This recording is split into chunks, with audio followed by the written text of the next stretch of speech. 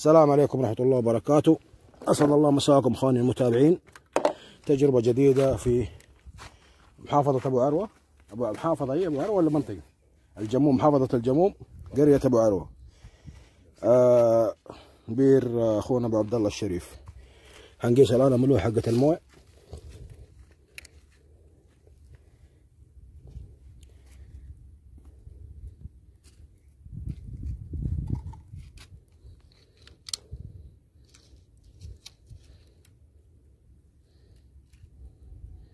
تقريبا 2300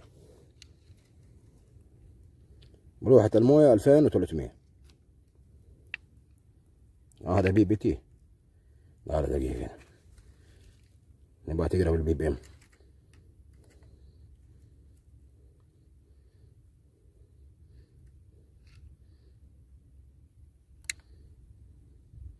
أربعة آلاف وسبعمية.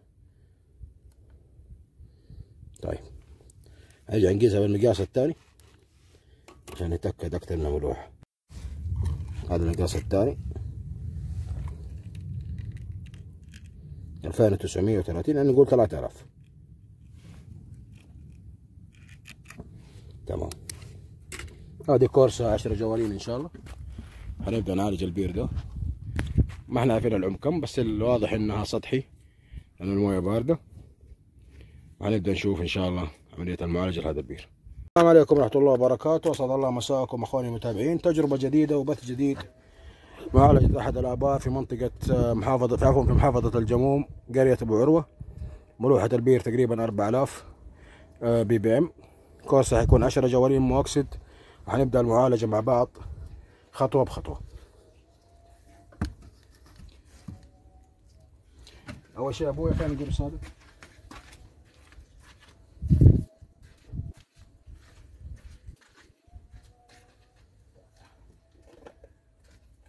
أول شيء نحط قرص معزز التفاعل.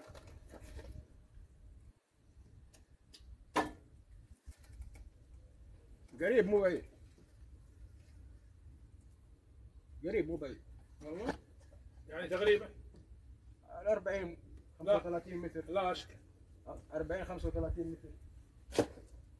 طيب. الآن نبدأ نصب الجوارين. أبدأ أبوي أصب. جالون بس انتبه ما يجي رجول حقك. معايا؟ يعني لما نصبه دواء. هو كده صح؟ كويس. صبه كده. رجول حقك ما يجي دواء بس صبه كده ها؟ لازم كله ورا بعض. بسم الله. ال- الف- الغطاس. انفصل كهربته. إن شاء الله يشغلوه الشباب يلا بسم الله صب. ما في خوف قول بسم الله. بسم الله. بدأنا الآن عملية المعالجة. وضعنا المؤكسد في البير.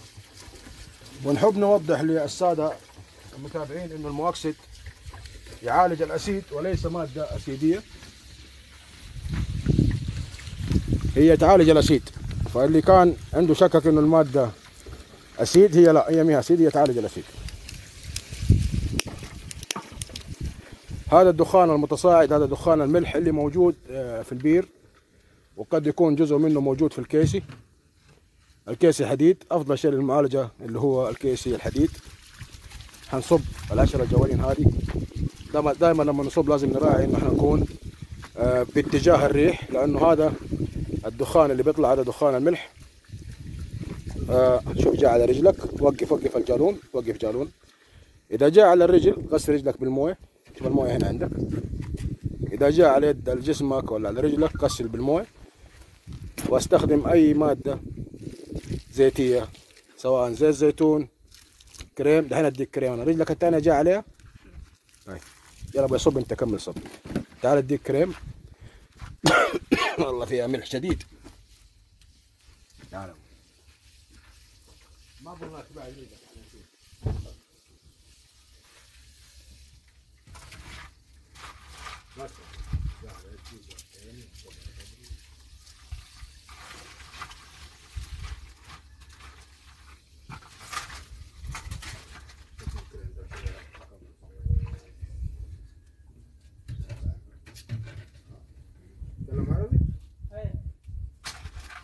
ما في خوف يجي حرارة شيء ما في خوف ها؟ عادي. صب صب جولون ثاني أبوي صب جولون ثاني لا يا شاق واحدة. صب صب لا تخاف صب. أنا بخير لهم السيارة أحسن عشان إيش؟ يشتغلوا براحتهم يتحرك الهواء. خلي الهواء يجي هنا قدام.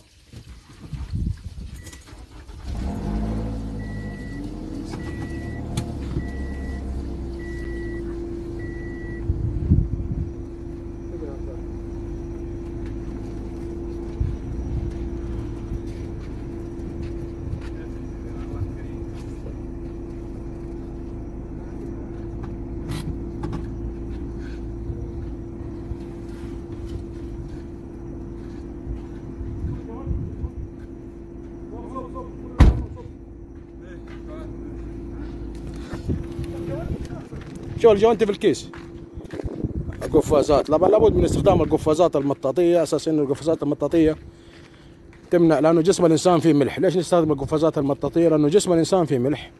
ولما نجي المؤكسد على جسم الإنسان كل اللي يسويه إنه بس يأكل الملح اللي موجود في طبقة الجلد الأولى ولكن ما يأكل الجلد نفسه. ما يسوي تآكل للجلد. مجرد ما يجي على اليد غسل يدك بالموية واستخدم أي مادة زيتية انتهت مشكلة المؤكسد آه شوف في قفا قفا كمامة في الكيس لابد من وضع استخدام القفاز. نستخدم الكمامة عشان ما نبغى نستنشق الأدخنة الصاعدة دي لأنه هذا ملح اللي قاعد يتبخر. ألبس ألبس كمامة. تقدر تتلتم. كيف أقول له كمامة؟ هو بايش لغته يعرف كمامة؟ عبد الله ألبس كمامة. شوف هناك في الكيس في كمامة موجود. طبعا إحنا السلامه اولا. ألبس كمامة ألبس كمامة. في قفاز ثاني جديد كمان ألبس. شوف في قفاز ولا ما في طبعا هذا الدخان المتصاعد دخان الملح.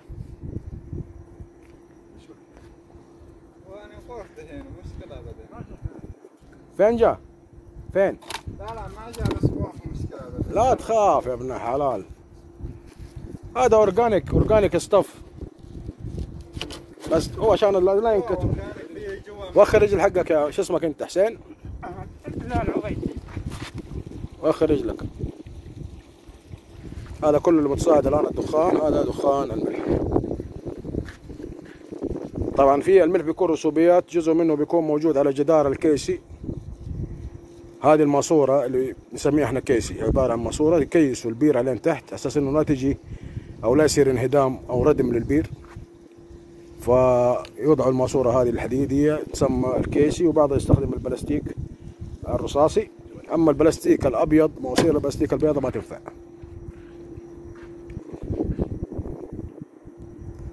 تقل على الشفة. متقل على الشفة. شفة البير. آه لقيت قفاز ولا ما لقيت؟ واحد؟ طيب ألبس واحد يلا. طيب هم الآن العملية شغالة؟ هحط الجوال أثبته. أشوف بس أنتوا قولوا لي إذا كان عادي يا شريف اطلع في الفيديو لا تخاف. والله شوف أنا زيك شريف ولد عمك ترى اطلع في الفيديو. لا تخاف والله أنا طالع مو أنت لا تخاف. لا تخاف أنت طالع أنت طالع في الفيديو. طيب خلينا نحط كذا بعيد. نجيب الزاوية بس حقت البير لا تخاف ولا. طبعا في ناس ما تحب التصوير زي الشريف. عاصم. وزي خوينا قعدنا نغني له. نثبته بس. أشوف بس كيف طريقة وضعه على أساس إنه أبدأ.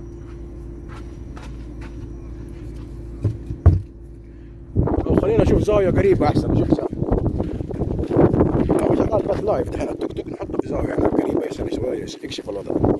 أفضل.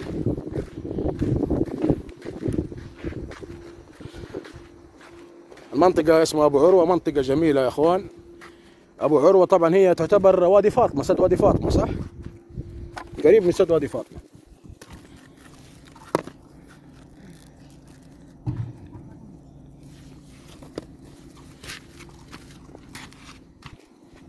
تحملوا تحملوا هذا دخان ملح. أيوه جوا ملح. هذا ملح. هذا دحين أيوه ملح. بعدين يجي اورجانيك يجي عصير بعدين. هذا اورجانيك ما يجي عصير دحين يجي عصير عصير. بعد ممكن ثلاثة شهر. لا لا عصير. هذا في في 3 سال اسيد بعدين انت كل... انت. كلم اسيد عصير أيوه. طيب في في تيست ريزولت كويس. صبوا صبوا دحين أنا أوريك.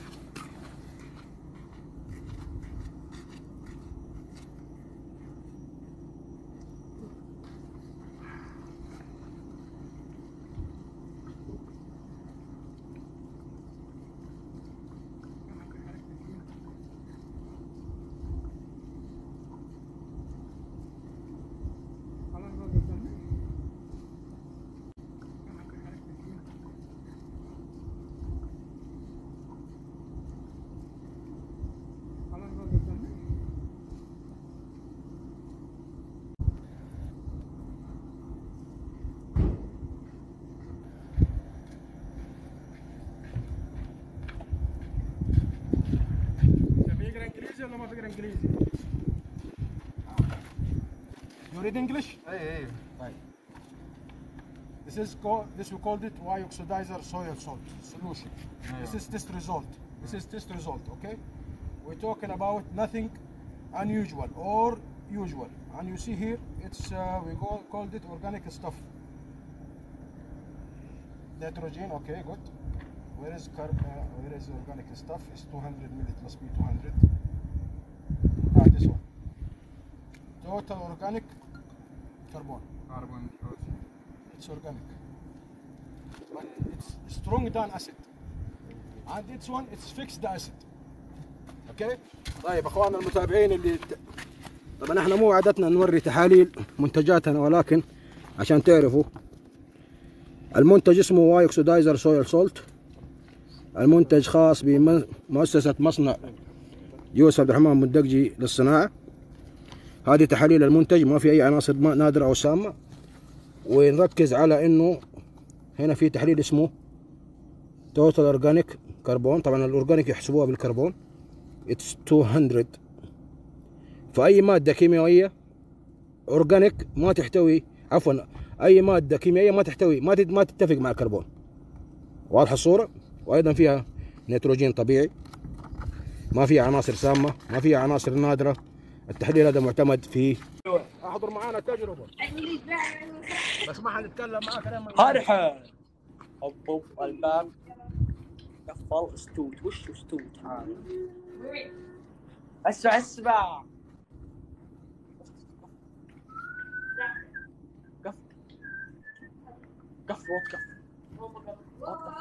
فاتح بث الله يلعن فاتح بث ترى صور ترى صور وجه هذا عز بس قفل البيبان بس قفل البيبان بس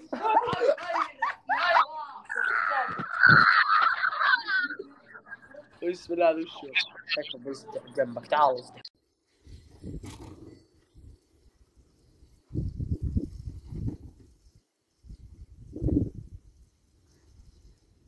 بروح أجيب لك اكياس كلها جمعها كيس كيس اكياس جيب كيس جيب موجود ستيل 10 15 10 يجيب.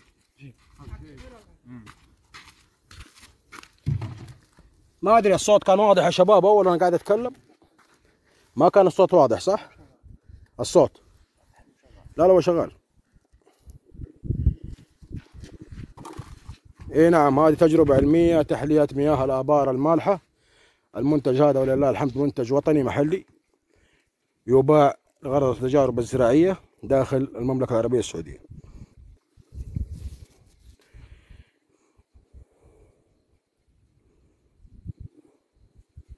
هذه الآن معالجة أحد الآبار في محافظة الجموم قرية أبو عروة. طبعا كورس البير هذا عشر جوالين. زي ما وراكم قبل شوية التحاليل اللي ظهرناها تثبت إنه منتج عضوي لأنه صار النقاش بيني وبين العامل بيقول أسيد وأنا بقول له ما هو أسيد. لأنه لو كان أسيد كان الحديد هذا داب أو صار فيه تآكل. آه المؤكسد يعالج الأسيد. الآن بعد عملية المعالجة وضعنا المؤكسد بالكامل لابد من إغلاق البير بإحكام. ليش؟ لأن المؤكسد يتفاعل مع الأملاح الموجودة في قاع البير ويبدأ يسوي ضغط هواء. ضغط الهواء يدفع بالمؤكسد إلى مسافات بعيدة من خلال العروق. يبدأ ينظف العروق إلى أن يصل إلى مصدر الماء ويفتح من ناحية مصدر الماء ويعالج مصدر الماء إذا كان فيه ملوحة أو في مواد آه، ملوثة أو مواد ملوثات أو مياه صرف صحي. إلى آخره هذا المنتج الوحيد اللي يعالجها إن شاء الله بحول الله تعالى. من الكبريت من الأسيد من الأملاح من ال- النترات من الأمونيا العالية من أي شيء. ما هو مضبوط؟ يعالج المقصد الآن آه، حنقفل فوة البير بإحكام. البث شغال. نتمنى أنكم تكونوا معنا. حنبدأ نشوف آه، الان كيف نقفل؟ فوة البير.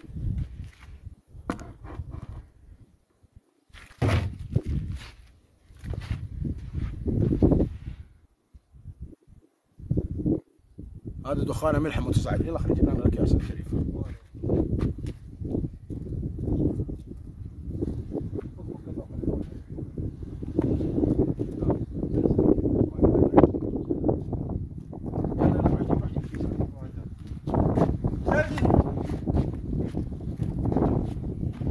نشوف لنا قاعدة ثابتة حط عليها الجوال بحيث انه أنتوا قولوا لي اذا الصورة واضحة.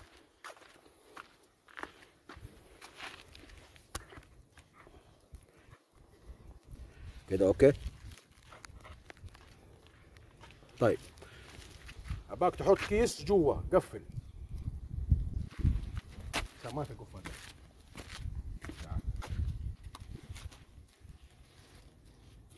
هات كيس ده.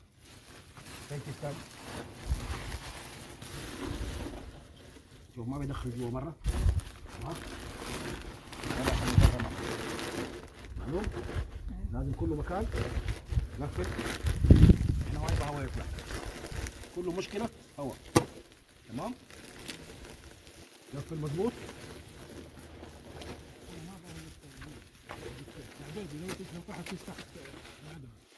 بس بس ما في دخول انت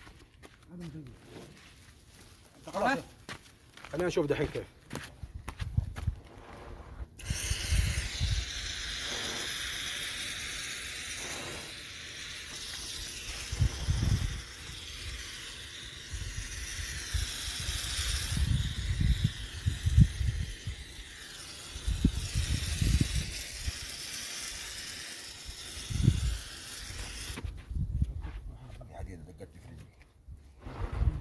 فين مصاصته ده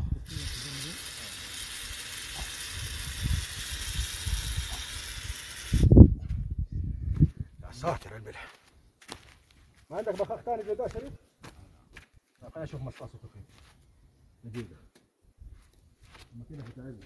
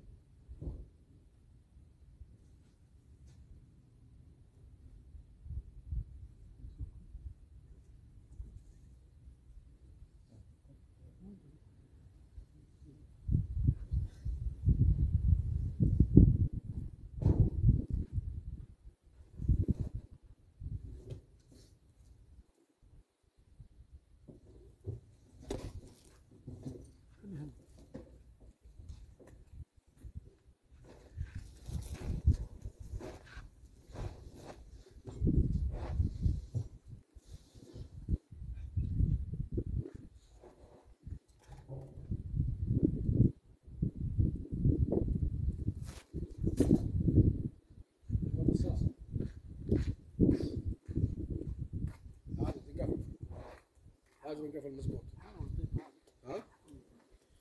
هذه ما توصل جوا. دخل دخل هذا سلك اسمع. دخل هذا كيس جوا. بس ما في يطيح مرة. هذا جوا طرف دخل جوا. لا إيه هو تمام تمام. اكبس أكبس جوا عشان احطه بخاف.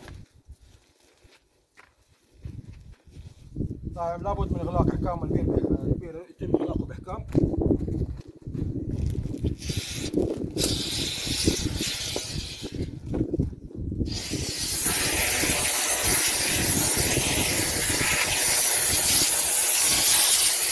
مساء الخير كده إحنا نبغى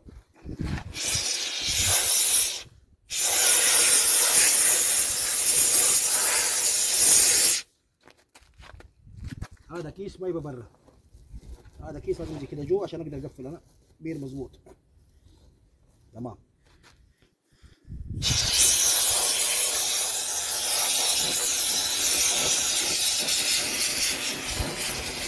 ممتاز البخاخ ما شاء الله. وهذه شو اسم الشركة دي. يونيفرسال فوم يجيب كيس ثاني يحطه من فوق كده بس. آه هذا لي. حق غطاس لازم نقفل من هنا فوق عشان إيش؟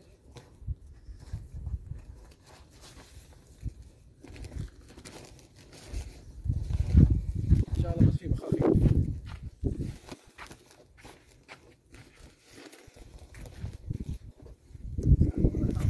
شو يقفل يقفل شوف أربطه بحبل ها؟ هذا أنت قفل بيه حطه كيس أربط حبل عشان يتقفل مظبوط. هذا قفل كذا يقفل مظبوط كده أيوه قفل. close no air gone out ها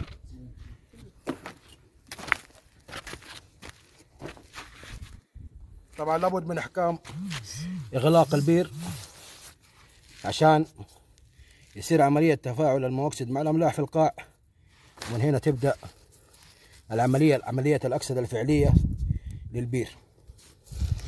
عشان نقدر نفتح العروق المؤكسد حيولد ضغط وحيذيب الأملاح اللي موجودة في العروق ويبدأ يوصل إلى مسافات أبعد. يعني عارف يا شريف عاصم؟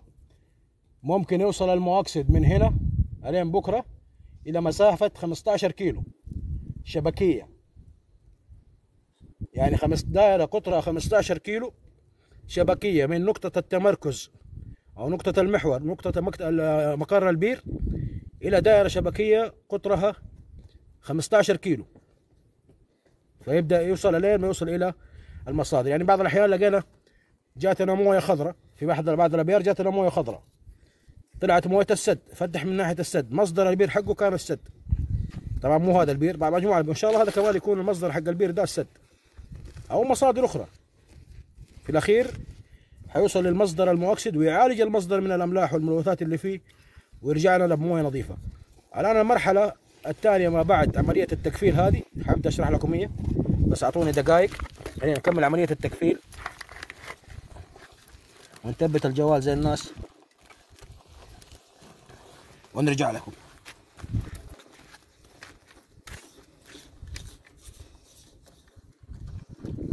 بس على التكفيل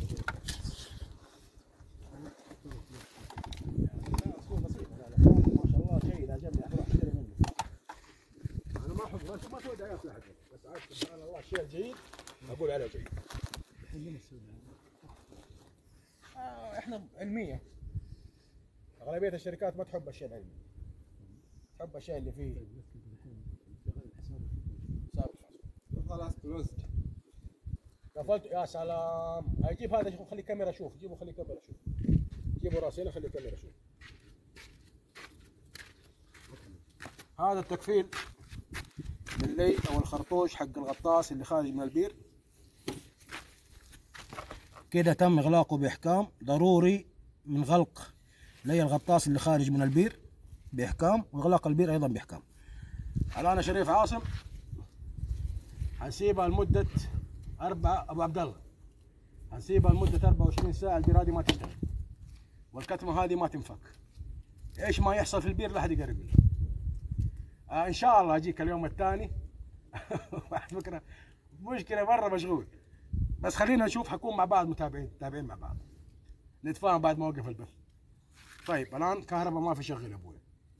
موية بير ما في شغل. يوم كامل. 24 ساعة. كهرباء حق بئر ب- ولا كله؟ هذا حق بير بس. طيب. انتبه ما في شغل بالغلط بعدين يصير مشكلة بيه لا لا ما. بكرة إذا ما نشغل حطوا موية على زرع كبير هذا ما في مشكلة. كله زرع ما في مشكلة. خليه يسقي الزرع كله ما عندك مشكلة. في المويه دي اللي طالعه عشان منها كمان يعالج التربة. يفضل يكون الشجر الكبير عشان يمشي. وبعد كده خليه يفكه في بطن الأرض. حتطلع المواكسد اللي موجود على الأرض ويعالج التربة من الأملاح اللي فيها. هي ممكن التربة شايفها خصبة جيدة. ولكن يخصبها أكثر فكده إن شاء الله الأمور طيبة.